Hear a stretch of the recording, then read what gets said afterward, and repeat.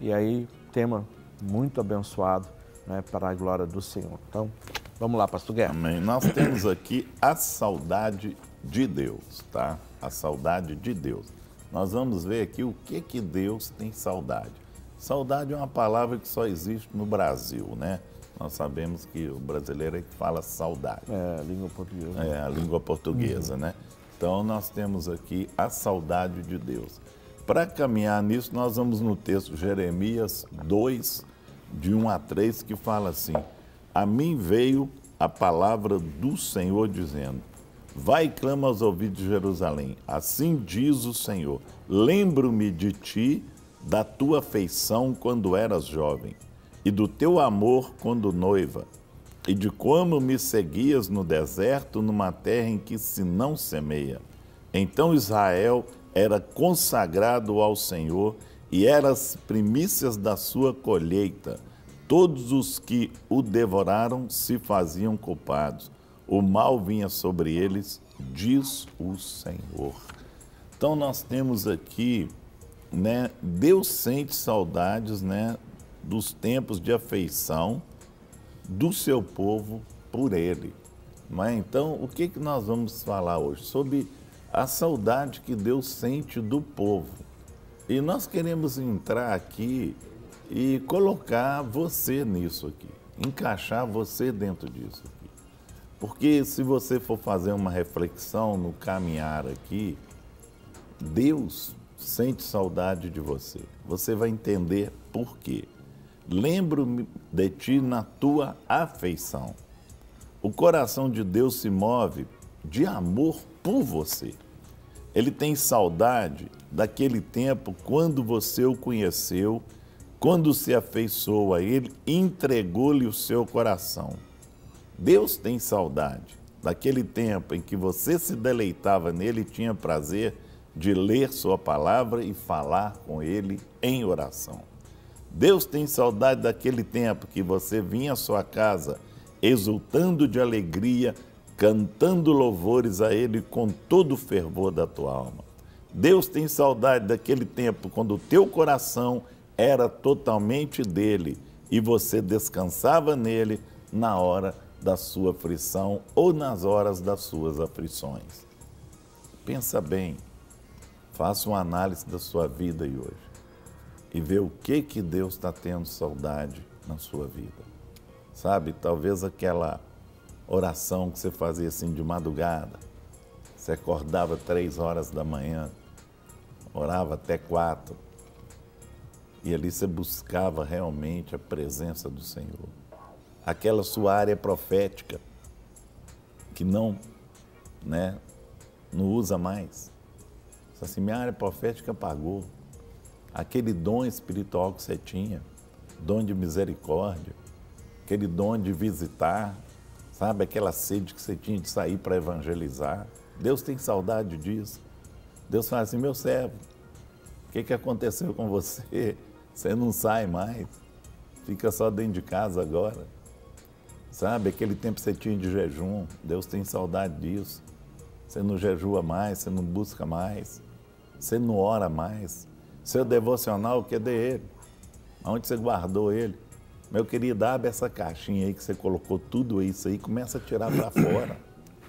Deus tem saudade disso. E é sobre isso que nós vamos falar hoje. Uhum. Eu tenho certeza que vai mexer com você, que muita coisa aí você deve ter deixado para trás aí. É. Então vão, vão dar uma mexida aí nessa caixinha. É não, Você vê um, um, Deus falando a respeito de um povo, de uma nação, né? Israel. Uhum. E ele usando a boca do profeta Jeremias para dizer, olha, tenho saudade de vocês. Né? Então, vocês me abandonaram, vocês trocaram né, a minha presença, a minha glória por outros deuses. Você vai ver que nós temos aí alguns tópicos sobre isso, ou seja, o Senhor falando para Israel, não é? Nós somos o Israel de Deus, né? também. Nós somos enxertados nessa videira verdadeira, não é? E nós somos filhos. E é essa palavra que o Espírito de Deus libera sobre a sua vida nessa manhã, não é? Você, sabe, você perdeu o primeiro amor, você perdeu o relacionamento de intimidade. Deixa eu dizer uma coisa para você. Muitas das pessoas que têm nos procurado, e tem sido muitas pessoas, quer seja na escola de restauração, quer seja nos atendimentos é, individuais, em grupo, nos eventos de final de semana que nós temos feito, tanto aqui nas nossas lagoinhas, né, ou em outras igrejas, nas viagens que nós temos feito. Você sabe qual tem sido o grande problema das pessoas? Estão distantes do Senhor. Tem muitos problemas. Muitos chegam com, chegam com problema de paternidade, outros é rejeição, outros por feridas nos relacionamentos interpessoais, casamento falido, enfim. Mas você sabe que no fundo a principal raiz é distância do Pai. Você pergunta, você tem orado? Você tem ido no culto? Ah, você tem se envolvido com a igreja local, nas células, nas atividades da igreja, nos ministérios da igreja? Entende? Então, a gente tem visto que existe e tem existido um vazio. Um vazio dentro da igreja, um vazio dentro do coração daqueles que um dia já confessaram Jesus como Senhor, que convidaram Jesus para habitar, morar dentro da pessoa e ainda elas permanecem com um vazio. Alguns chamam de vazio existencial. Eu digo para você que é um vazio do distanciamento da comunhão da casa do Pai. É um distanciamento. E eu tenho plena convicção que hoje você pode mudar essa história. Você vai ouvir o que nós vamos falar e eu quero dizer desde já que aí, ó, nas suas mãos, existe uma chave. E essa chave é só você que pode girar para abrir aí o teu coração para voltar a se apaixonar por esse Jesus maravilhoso. Amém? Hoje nós temos aqui, Deus sente saudade dos tempos do seu primeiro amor. Você se assentava aos pés para adorar. Cadê sua adoração? Cada um adora de uma forma. Muitas vezes né, as pessoas perguntam assim, o que é adoração? adoração é aquilo que você faz pessoal. É você e Deus, você adora da forma que você acha que deve adorar não é? E Deus sente falta dessa adoração sua. Né? Muitas vezes você ajoelha, você vai adorar o Senhor por tudo que Ele fez por você. Você vai fazer uma adoração de agradecimento. Então, adorar é expressar aquilo que realmente eu estou sentindo. Não é? E Deus tem saudade disso. Você não cessava de falar do doce nome de Deus. Sabe aquela aquela coisa assim, você falava com tanta convicção que mesmo que a pessoa fosse resistente, ela ia sair com a dúvida. Aquela pessoa está certa. Ela tem algo de diferente. Sabe, você ia mexer com aquela pessoa, que Deus tem saudade disso na sua vida. Sabe, de você falar mais de coração, não é falar assim por falar, não. É falar com o coração.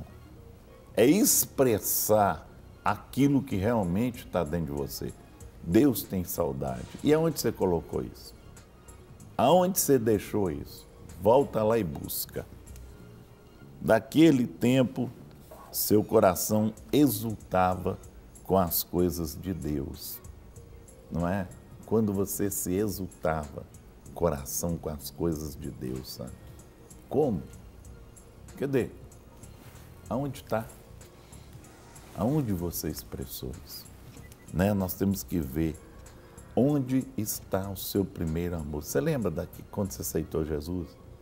Você saiu pulando de alegria, sabe? Você, você nem dormia direito com vontade de pregar para parente, pregar para todo mundo. Falou, tem que contar isso que aconteceu comigo, isso que, que houve na minha vida, essa transformação. Que é isso?